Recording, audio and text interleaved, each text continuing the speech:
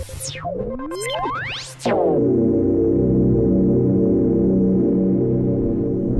up, Geeksters? It's me, Omar from GeeksterLabs.com. How are you guys doing today? Well, the product I'm going to be showing you is something that was sent to me uh, free for review from our friends at STM. Today we got the STM Trust laptop bag. And uh, for those of you that have seen my other videos, I'm a really big fan of STM. They make really good quality products, especially their bags.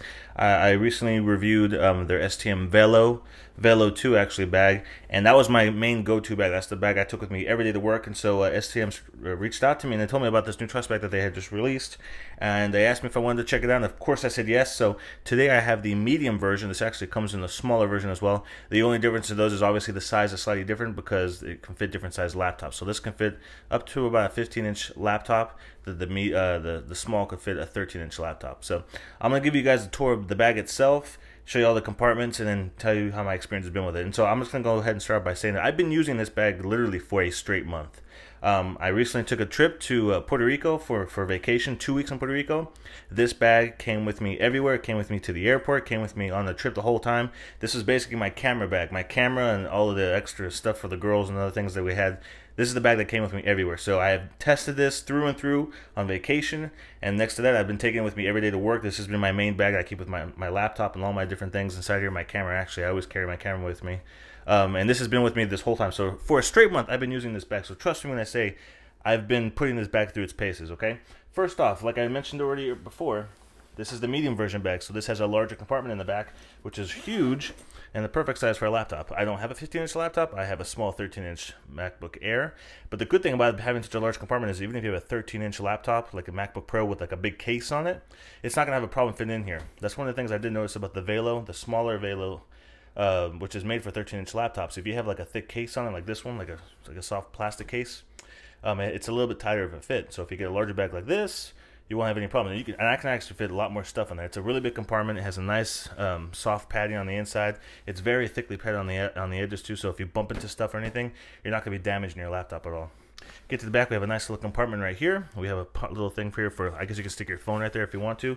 That's the only organizational pocket in this inside this one right here pretty big opening and uh, as you can see we have the flap here so this is great for the airport so when you have a stroll when you stroll in your bag with a little handle. You can slide this on top of that, and you don't have to have, keep it over your shoulder while you're walking through the airport. You can just keep it right there on top of the handle strap that goes through there on your rolling bag, okay?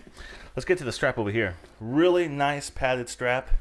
Really good. Has some good uh, some foam in there, so, so it's really thick. I like the nice thick strap itself, and it's actually easily adjustable, so you can switch from going to like over shoulder to on the shoulder really easily. All you gotta do is flick that switch up right there, this little thing, and it locks it and unlocks. I keep it loose most of the time because I put it over my shoulder but it's only adjustable on one side. But both of these can completely go all the way around, so they don't like you don't have to like straighten this out or anything. It just it's uh, they both pivot from that one spot right there, which is kind of nice. And if you want to, you can actually easily remove them because they have these easily removable clips on the corners here. So if you don't want to keep the strap on there, you can pop them off, no problem. You can take it off and just hold it by the handle. But I did notice when I carry it by the handle, it's kind of awkward and it's a little bit off balance even when this thing is closed up the zipper just because the way it's the way it's carried out. It just feels a little more awkward. So I like using the strap. Let's get to the front. The front we have a nice little soft compartment right here with has really nice lining. So you can see on the inside, we have one pocket here, one pocket here, and one big pocket right there in the middle. And like I said, it's completely lined, so you can throw your glasses in there, your cell phone in there, anything you don't want to get scratched up, your passport, your wallet, whatever it is that you want to get easy access to, you can pop it right into that little thing right there. I did notice if you stick papers and, th and those types of things inside this this really soft lining, it tends to get stuck and like caught in there and stuff because the corners are just sharp. But uh, you know, that's just something I noticed. Anything like a wallet or stuff, or definitely a cell phone, throw it in there. You don't have to worry about it getting scratched up because it's nice and soft lined in there. Really nice feature. Bottle holders right here. And the cool thing is, if you don't need them, you can tighten up the strap, and they kind of they kind of go away a little bit. But if you open it up, you can fit a really big bottle. So you can fit one bottle of water over here. You can fit another bottle of water, water, bottle of water, bottle of water on this side. So two of them. You got two compartments for that on both sides. Okay, that's pretty much the outside exterior part of the bag. We have a nice reflective little strip right here that you can clip like a light too if you want to also. And then we get to the clips. We have some nice metal clips right there. Those are real nice. So flip this up, and as you can see, if you notice the way this kind of like flip, flaps over because it's real thick on the sides, so it's almost like, it's not just a single flap, but it actually covers the corners really well. So pop those back, And then we have the main opening here. So here we have three big cavities, okay? We got the big one right here for most of your big stuff. We have a medium cavity right here and a really small one up in front. Really nice thick zippers, as you can see right there. Let's pop this open. No organization on the inside. This one right here, just one big opening. Good for keeping your flash drives or whatever it is, your SD cards and things like that. Cords, stick it right there. Get to this opening over here. That opens pretty much all the way to the sides. You can get that nice and big. Lots of organization in here. We got one pocket, three pen pockets, another pocket right here, a key clip, which comes in handy. We have a nice mesh bag, which you guys can see I have all my cords and cables and things like that. And that's right in here. So that's really nice. This is where I keep all my sound stuff. So my microphones and things like that, I usually stick them right into here.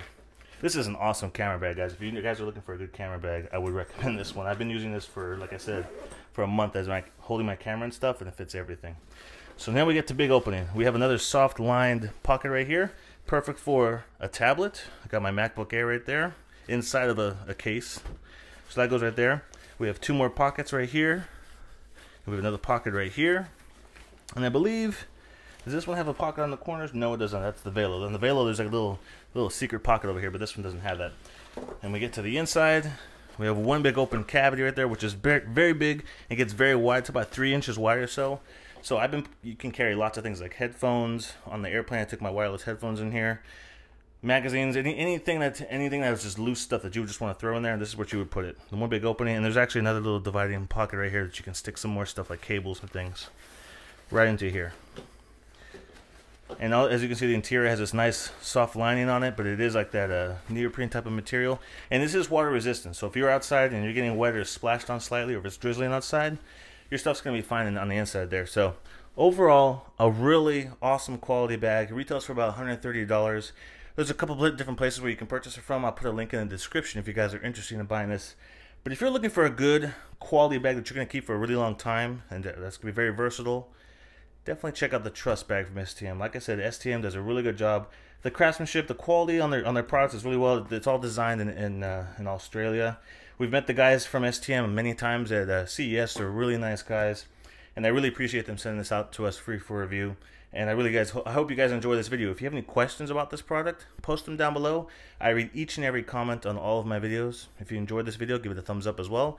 And if you want to stay up to date with all of my content, make sure you subscribe to my YouTube channel as well, guys. And as always, make sure you stop by geeksterlabs.com for the latest in tech news and video reviews. And I will see you in the next video review.